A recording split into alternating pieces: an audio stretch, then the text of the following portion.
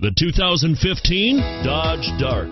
The Dodge Dart was introduced as a lower priced, shorter wheelbase, full size Dodge in 1960 and 1961. Became a midsize car for 1962, and finally was a compact from 1963 to 1976. Chrysler had previously applied the Dart name to the Ghia built show car in 1956 and it's priced below $30,000. This vehicle has less than 100 miles. Here are some of this vehicle's great options.